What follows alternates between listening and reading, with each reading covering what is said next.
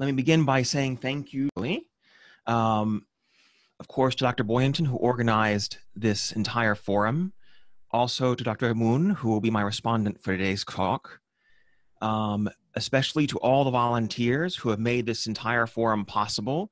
There are more of them than you would believe, um, and they've all put a great deal of work into this. And especially this morning to our lovely singers, the two Michaels, Ubo and Tara, that was an absolutely wonderful rendition of John Lennon's Imagine. And I have no doubt that if he were with us still, he would be utterly thrilled to hear his song sung in a bilingual Chinese English version. That is something truly new and wonderful.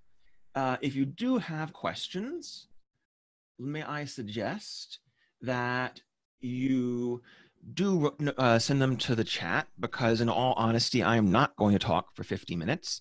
And so there should be plenty of time today for us to take questions from the audience. So, without further ado, let me begin. Ladies and gentlemen, good evening and good morning. We live in difficult times. The problems facing humanity have never been greater global warming threatens to create a world in which human life will be hostile, which will be hostile to human life. Air pollution has made it hazardous to breathe in many of our cities. Enormous disparities of wealth between individuals and between countries have doomed billions to substandard lives and have prevented the world from benefiting from the talents, the insight, and the compassion of many of its people. Violence and hatred are destroying lives, societies, families. And a toxic racism percolates through our society, poisoning everything we hold dear. This was the situation facing the world at the end of 2019. And then along came COVID 19 and made it worse. COVID 19 presented us with a problem that can only be solved by coordinated global action. It challenged us to respond to a global crisis as a globe. We failed to rise to that challenge. Instead, we fell back on the tired cliches of the nation state us versus them, scapegoating, self interest, suspicion, xenophobia. As a result of our failure, a problem which could have been contained and rapidly dealt with has become a global catastrophe. We live in difficult times.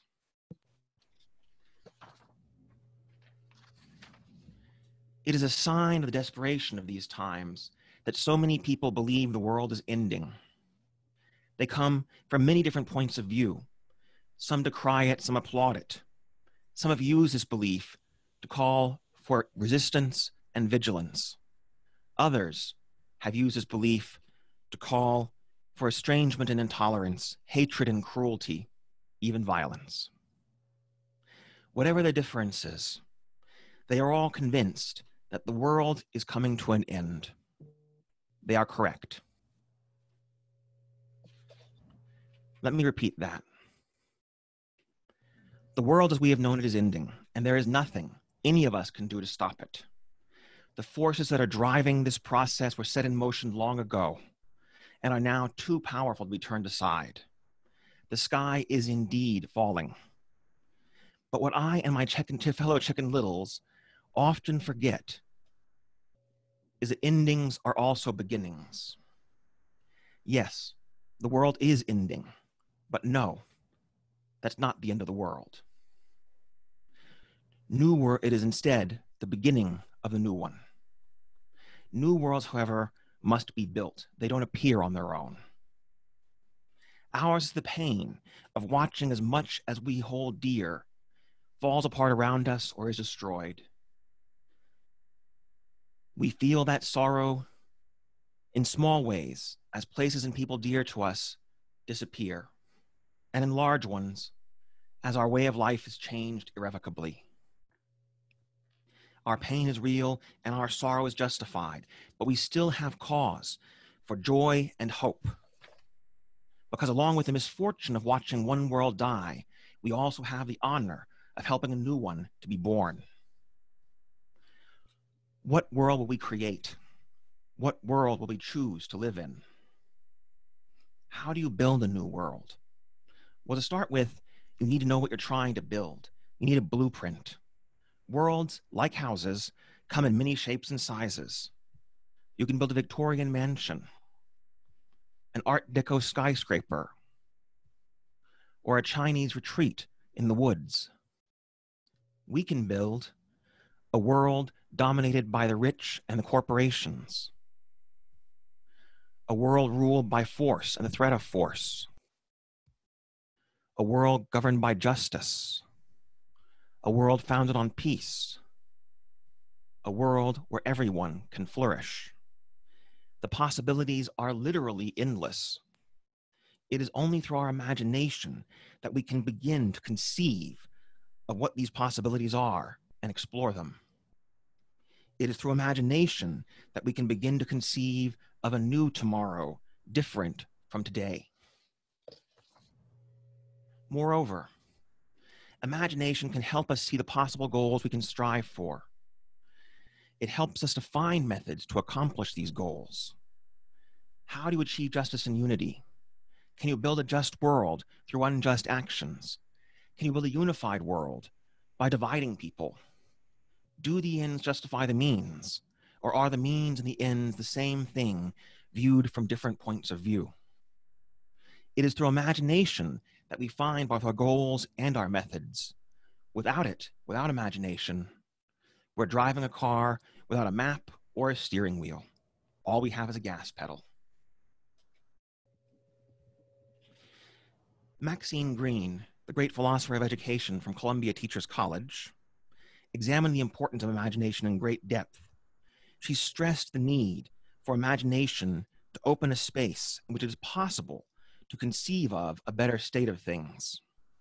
And she emphasized the importance of art and literature for education, recognizing that all of us, but especially the young, need the experience of exploring alternate worlds the imagination can create.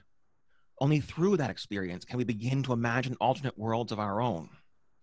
And only by imagining alternate worlds can we hope to begin changing this one. Unfortunately, we have become a society that has little use for the imagination. In the publishing industry, there is now more demand for nonfiction than fiction. And a work of fiction that claims to be based on a true story will sell better than one that admits that it was made up. On TV, reality TV shows remain the rage, in spite of the fact that everyone admits they're the entertainment equivalent of a Twinkie laced with cyanide. In our schools, STEM, science, technology, engineering, and medicine are experiencing a renaissance. But art and literature are increasingly seen as frivolous. Our fondness for facts is so great that we would rather consume an ugly, demoralizing, misleading, even false fact than a beautiful, uplifting, enlightening, and true fiction.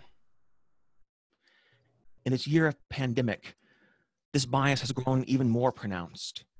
Even among scholars of the humanities, there have been calls to abandon art and literature. For what use are they when the world is facing an existential crisis? I will argue today that not only are they useful, they are essential to our continued survival. But we have become clumsy in their use. We have convinced ourselves that the creations of the imagination have no relevance to our reality. And for that reason, we have forgotten how to use them well. Let me give you one example of how the imagination can be uh, helpful to us in our daily lives. I'm certain that every person listening to this talk has had this experience. Let's imagine while you're going about your day, someone does something, did something that you didn't like. Perhaps they said something unkind to you. Perhaps they cut in line or stole your parking space. Perhaps your boss yelled at you for no good reason. You got angry. Later on, whenever you think about the incident, you get angry again. You think to yourself, the next time that happens, I'm going to give that person a piece of my mind. I'm going to say, and you think of all the nasty things you want to say to that person. Maybe you even imagine yourself hitting them and it feels good. We've all done this. Often, we repeat our imagined payback over and over in our minds. But when we imagine ourselves responding to a problem with anger or violence, we are training ourselves to respond to future problems in that way. We are making it more likely that when confronted by problems in the future, we will respond with anger and violence. On the other hand, if we imagine ourselves responding to a problem by staying calm and finding a peaceful solution, we are training ourselves to remain calm and rational when faced with difficulties, and we are increasing the likelihood that we will do so in the future when faced with problems. This is a simple but shockingly effective method of training ourselves to respond to difficulties in a more humane, human way. But many of the problems facing us today global warming, extreme inequalities of wealth and poverty, racism, and many others are social or even global problems of immense complexity. Changing ourselves as individuals is necessary and important, but it is not enough we must learn to apply our imagination to larger, more complex problems. And that will demand that we use our imagination in more sophisticated ways than we have ever before. And on top of that, we must learn to use our imagination collectively, as communities, as societies, as a world. This is far more difficult. Fortunately for us, the first problem, how to use the imagination in a sophisticated way has already been addressed. So let's begin there. Art, in all of its forms, is an, extraordinary, an extraordinarily sophisticated work of the imagination. Crafting even the most realistic forms of art involves a creative interaction between artists and the world around them. If we want to learn how to use our imagination with, sophistic- with in a more sophisticated way, art is really the place to begin. Hannah Arendt, a very influential philosopher of uh, government and morality from the 20th century, like Maxine Greene, who she actually inspired, was very concerned with the, uh, with the problem of the imagination, with how it should be used. She held that imagination was necessary in political and social decision making and in the quest for a better world. Arendt had lived through uh, World War II. Her family had fled Germany when the Nazis took over, so she knew something about how things could go wrong. Um, she had experience in what could go badly in society. She made the interesting observation that while imagination was an essential element of any kind of social or political decision making, that it could be dangerous. And she proposed that a limit of some sort was necessary to keep the imagination from becoming harmful. Her proposal was that our imagination, particularly when used as a social imagination, imagining what can be in our societies, should never stray too far from the actual situation we live in as it factually is. I accept Arendt's warning about the potential dangers of imagination. Any tool that is, can be used for good can also be used for evil. That's a basic rule. However, I think that her concept of a limit or a boundary over which imagination must not cross is too limiting. And more importantly, it doesn't actually match the way that artists work. Instead, I want to propose the concept of discipline. The imagination does not need a limit, but it does need discipline. Art is actually an extraordinarily disciplined activity. the notion often seen that art is freewheeling and without any sort of cares is, as we're going to see in a moment, incorrect. Artists are extremely disciplined and demanding of themselves. And so, rather than prescribe what the imagination should and shouldn't do on the basis of some theoretical argument, I suggest that we look at how artists discipline their own creativity in order to produce powerful and sophisticated works of the imagination. Let's learn from them how we then need to discipline our own imaginations. For the uh, purpose of this exploration, I'm going to use novels as an example. Novels are actually a particularly good uh, you know example in this situation because there's a long history of novels being used as vehicles for social change. In the US, Harriet Beecher Stowe's Uncle Tom's Cabin, published in 1852, galvanized anti slavery sentiment in the US. Abraham Lincoln is said to have addressed Stowe as the woman who started the Civil War. In England, Joseph Conrad's Heart of Darkness which was written by him as essentially a protest of the inhuman conditions of the Belgian Congo, served similarly to mobilize English public opinion against what was happening there. One of the organizers of the international movement that strove to change conditions in the Belgian Congo later referred to Heart of Darkness as the most powerful thing ever written on the subject. And in China, the modern novel itself grew and developed in a context of calls for reform and revolution. The explicit goal of writers, in the words of Liang Qichao, was to renew people's hearts and characters. Isn't that what we're looking for today? Isn't that what we want? So let's begin by asking ourselves what are the qualities of a novel? What does it demand of the imagination? How do these novels then work so sophisticatedly with the imagination? Well, one of the most key and fundamental qualities of the modern novel is emotional realism.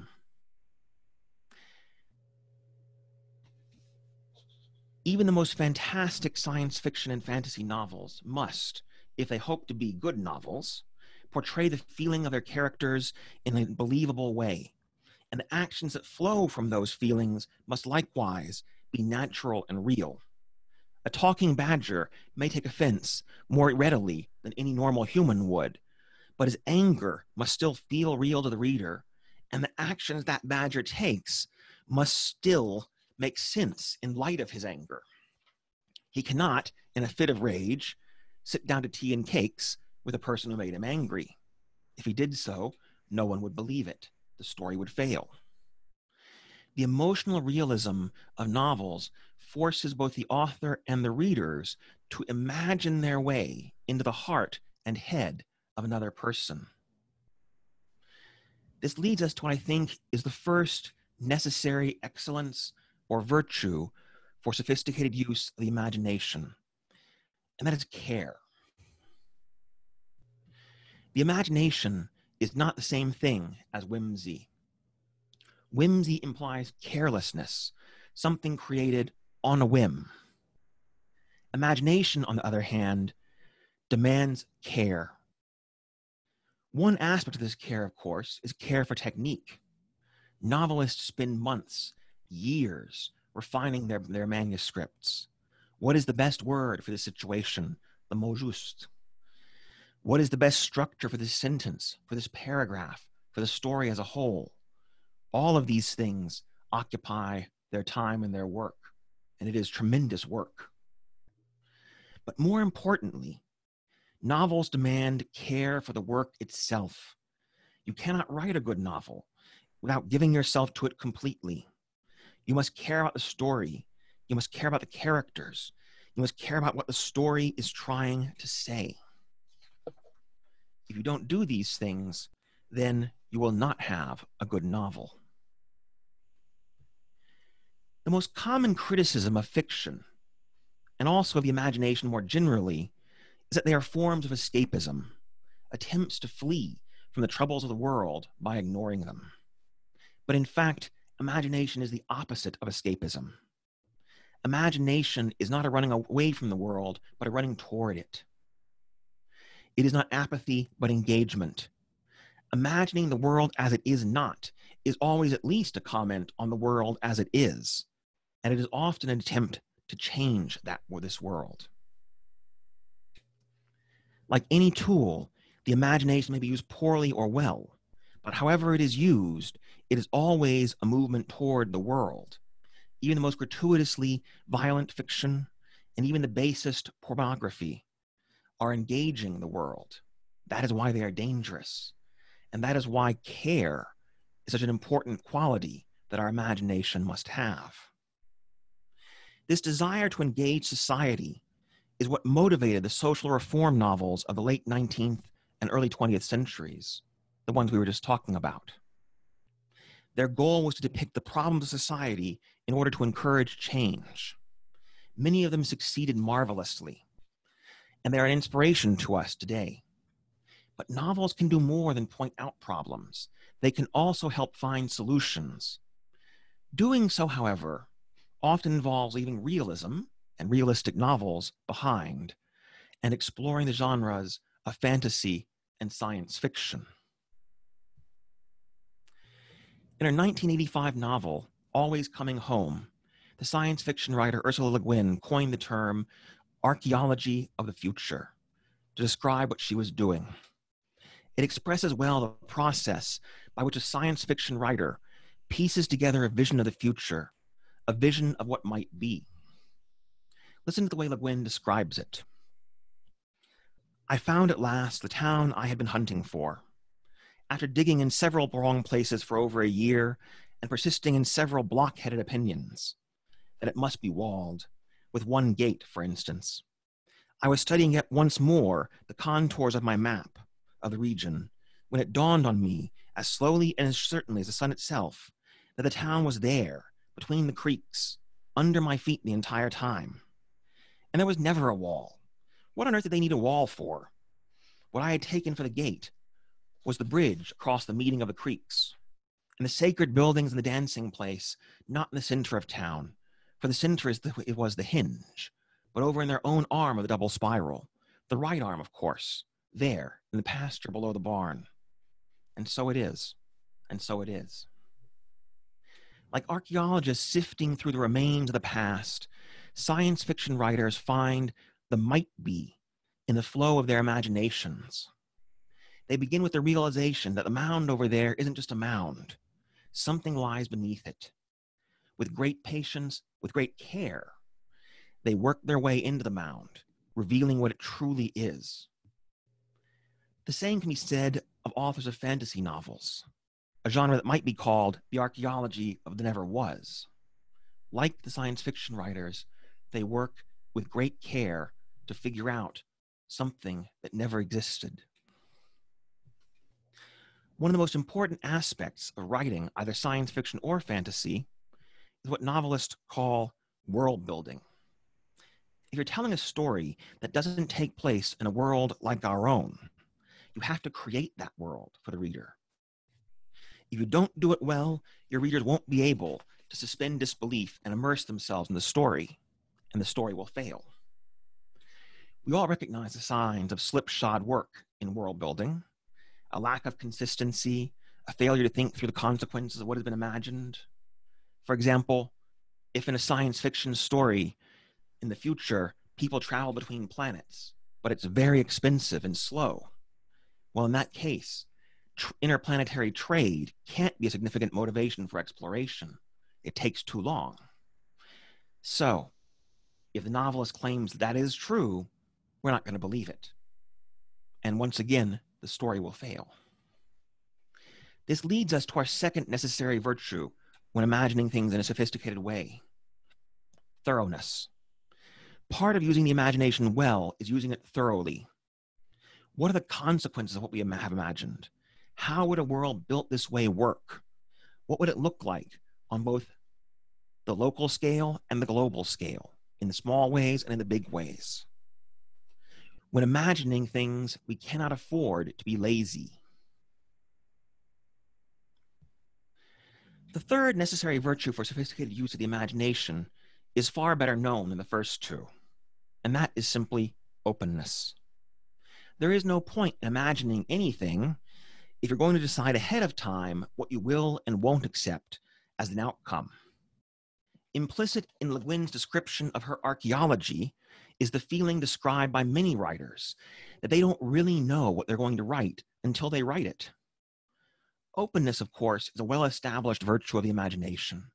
It is the principle behind the practice of brainstorming, which is now so widespread. But being open is not enough.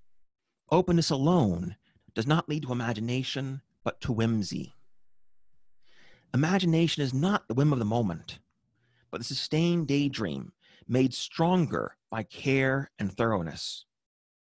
It is for this reason that all professional writers stress the importance of revision, more revision, and then more revision.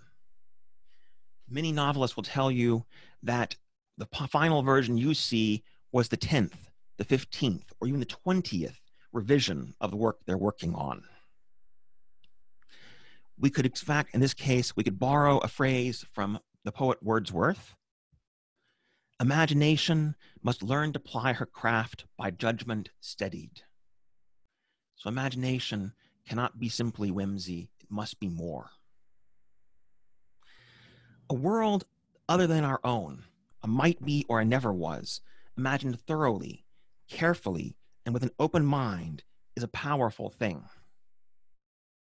The literary critic Fredric Jameson, who borrowed Le Guin's term archaeology of the future for the title of one of his books, has written that fiction and fantasy can aid us at imagining and sometimes at realizing a system radically different from this one. The greatest virtue of these genres, he says, is precisely their ability to envision a world that is not our world, a way of life that is radically different from our own. As Jameson points out, the force of such a vision is not directed at the future, but at the present. The effect of imagining that which never yet has been is to open up the possibility of change here and now, to create a space in which the fut- a future different from our present can be built. For Jameson, this quasi destructive function, this questioning of what is, is a limit of what fiction can do. But I believe we can go further. You can no more destroy without creating than you can create without destroying. They are two sides of one coin. This is an old truth, but one that we have inadequately learned. We cannot create a space of possibility which is neutral, in which anything is possible all spaces of possibility are biased. We create the possibility of certain things happening, not others. We make some things more possible than others and other things less possible. We make some things, uh, well, anyway, this is precisely why the content of what we imagine matters. If we imagine our ideal world as a consumerist paradise with new smartphones every year and a never ending stream of entertainment, have we considered the social and environmental consequences of unbridled consumerism? If we imagine our ideal world as one in which we and our property are totally secure, have we considered how that will be achieved through a police state or through a just and equitable society? We are going to imagine solutions to the complex problems that face us, we must answer these kinds of questions. Because whatever we imagine will not merely destroy or create, it will do both.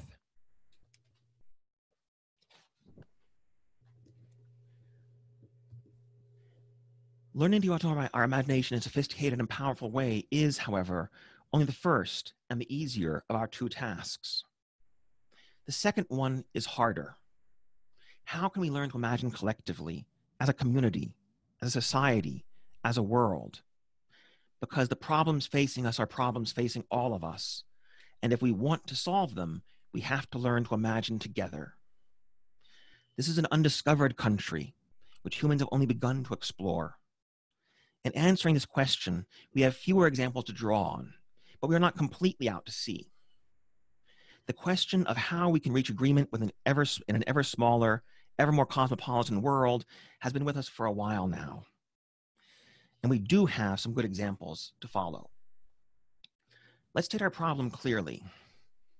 We need to imagine our future together, collectively. But we come from many countries, many cultures, many religions, and many different points of view. This is not a simple problem. A brief glance around the world today will show how frequently and how badly we have failed at working together. But we have not failed every time, nor have we failed completely. As we face the worst, the worst pandemic in a hundred years, it is worth remembering that events like this used to be far, far more common. More importantly, given the speed of modern travel, our airplanes, our high speed trains, everything, and the interconnectedness of the world today, we should be facing pandemics on a regular basis.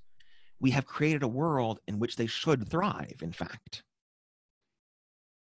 The fact that we do not is proof of one of our successes as a species.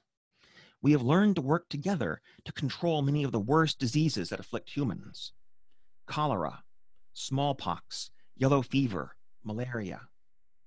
These are the greatest killers in human history. While it is true that of these, only smallpox has been eliminated, and malaria alone continues to cause more than 400,000 deaths every year. Yet, we have made great progress in controlling them. Not so long ago, things were far, far worse. Malaria used to ravage cities like Washington, D.C. and Philadelphia, to give you a simple example. We really have achieved something remarkable. How do we do it? How do we learn to bring these diseases under control? Well, at the risk of giving a very simple answer to a very complex question, I'm going to state it in two words talking together. In every case where we have succeeded in working together internationally and overcoming difficult problems, our success has been based on coming together to discuss the problem with open minds and mutual respect. I'm going to call this kind of discussion a consultation. Like imagining, consulting can be done well or badly. What are the virtues that enable good consultation? First, mutual respect. Public health workers state that maintaining a positive relationship with the community is the single most important part of their job. We cannot work together if we do not respect one another. We cannot consult meaningfully if we look down on any of our fellow participants. We must come together as one and truly see each other as equals. This, to be honest, is where we most frequently fail. It is very easy to consult when everyone there shares the same or at least a similar point of view. But it is precisely when we do not see eye to eye, when we have differences, that we most need to consult. If we enter the discussion convinced that the other participants are stupid, evil, untrustworthy, or completely in the wrong, there is no possibility of consultation. There is no possibility of creating a shared vision of the future. We see this failure every day, everywhere in the world, and we are living through its consequences. The second virtue necessary for consultation is open mindedness. Now, in a public health intervention, normally there's already a predetermined goal. But in consultation, that is not the case. In consultation, we cannot know the results beforehand. The goal of the process is to reach the results. As with imagination, consultation is pointless if we start by assuming we know where we're going to end up. This is another great challenge. When we consult, the only goal we can have is to find the best solution to our shared problems. Any other goal will derail the process. We must consult with an open mind and be willing to follow the discussion wherever it leads.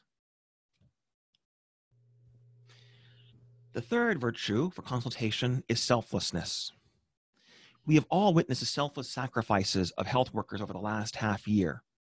Well, consulting together requires that we all make a similar, reach a similar level of selflessness. When we consult, we give our ideas to the group, and the group decides on whether to use them or not. The group accepts or rejects them. That acceptance or rejection has nothing to do with us. It should neither flatter nor insult our ego. We are part of the group, and the group has only one goal to arrive at the best possible conclusion. If the group does this, then it has succeeded, and we should be happy to have been part of that success. It doesn't matter whose ideas were chosen in the end. We shouldn't even think that way. Mutual respect, open mindedness, and selflessness. This is a very high standard, a standard that I admit is nowadays rarely achieved. In spite of that, is what we must strive towards. Only through learning to consult together can we imagine a better future together, and we desperately need to imagine a better tomorrow. The world cannot continue the way it is. We have reached the moment in that in the structure of a story is called stasis equals death. All heroes reach this moment early in their story. They must learn, grow, and change, or their story comes to an end. We, as the inhabitants of one world, must also learn together how to change, or our story will be over as well. I believe with all my heart that we are capable of changing, and that when we do so, we will embrace the great adventure that is the future of humanity. This challenge may sound overwhelming. It may seem that there is nothing we can do as individuals to help, but this is not the case. All that holds us back, all that is keeping us from making the changes we need to make, is the belief that things cannot be different, the belief that we cannot make a difference. Great changes begin with small ones. Yes, we need to think about how our world as a whole needs to change. But no, we're not going to make these changes overnight. We can start with what is close at hand. Is there something in your world that you think needs to change? Imagine how you might make it better and then go out and do it. That's how all change begins. That, in fact, is how this lecture series came to be.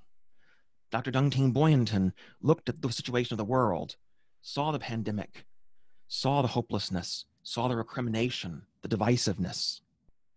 And she imagined what she could do to make things better. And then she went out and made it real. Each of us is capable of improving things in the world in our own unique way. In order to do so, all we need is the courage, the will to imagine, and the will to act on that imagination. We make the world, and we can make it better. What world will we create?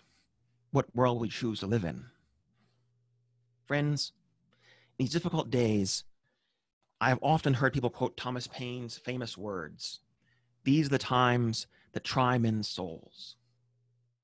Usually, when they say this, people simply mean that we are living in difficult times. This is undeniably true, but it is not what Paine meant when he wrote these words in the months leading up to the American Revolution. Rather, he meant that those were times in which a person's soul would be tested and tried and proven. What sort of soul was it? To what did it aspire? What does it value above all else? Paine felt that by their actions in that crucial time, individuals would judge themselves for better or for worse. We are living through a moment, similar moment of trial now, but we will not be judged as individuals. We will succeed or fail soar or plummet as one human family. The day of judgment is upon us, and we are the accused, the accuser, the judge, and the jury. Our fate rests in the hands of no one but ourselves. Ladies and gentlemen, the world as we have known it is ending. That end may come tomorrow or it may come decades from now, but it will come. Ends, however, are also beginnings. And the beginning of all things lies in our imagination and lives in our dreams. The time has come for us to dream a great dream, the greatest we've ever dared. We will succeed only if we dream boldly, wisely, and with compassion. We will only succeed if we dream together, a dream large enough to include the individuals of the, in, to include the world and all its peoples, a dream of justice, a dream of unity, a dream of beauty, a dream of peace, a dream of hope. Thank you. All right. And these are the credit image credits for my talk. And this last slide is a very limited but uh, but nice list of suggested reading. Thank you again.